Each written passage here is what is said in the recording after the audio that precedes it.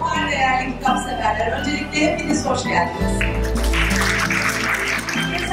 Yılın en sevdiği ülkelerden biri. Bu sebeple yeni kitabı Yeşillik zaman zaman yer verdiğinde.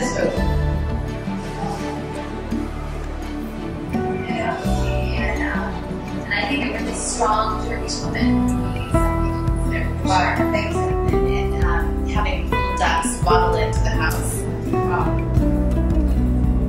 Kitabı, kitaptaki o gerçekten yok.